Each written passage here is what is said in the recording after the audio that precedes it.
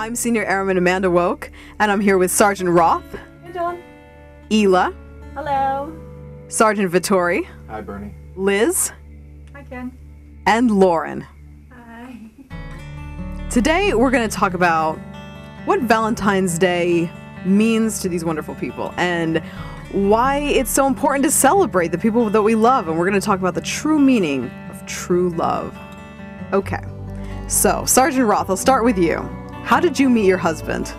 Well, I met my husband in uh, in my past career field, uh, aircraft fuel systems. Um, he was being introduced to everybody who's the new guy, so um, I thought he was really confident. And as soon as he walked away, the girl next to me told me how hot she thought he was. Oh, so snap. yeah. So a year later, I had another girlfriend come visit me, and she said, "Wow, you- that Roth guy is so hot." So I finally clicked. Hey, he looks pretty good. So so we were good friends, and uh, and then we started dating. So we dated for about three years, and then um, and then got married, and we've been together for three years, married.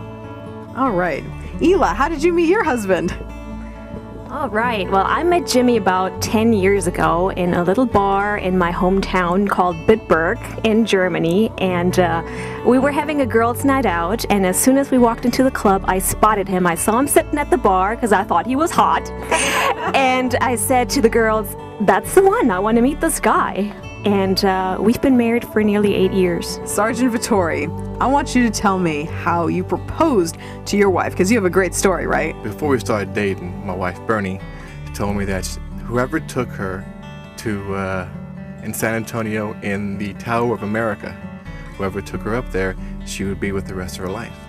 So, a, more than a year down the road, when I finally proposed to her, what I did is I drove around San Antonio and I acted like I was lost. This was around dinner time. So I pulled into any random parking lot and it just happens to be Tower of America right there in front of us.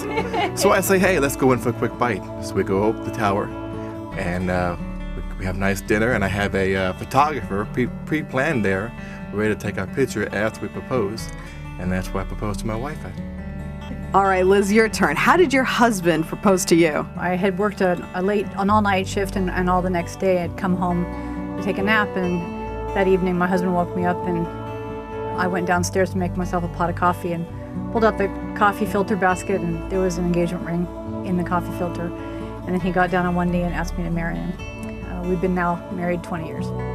Lauren, can you tell me what Valentine's Day means to you? What it means to me is really staying connected and making sure that you know the bottom of your heart that you love each other and um, just the little things throughout the year is pretty much what Valentine's means to me. It's consistency through a marriage. This is the Valentine's Day edition of the Lakenheath Late Show. I'm Senior Airman Amanda Woke. Thank you so much for being here joining us. Thanks, everybody.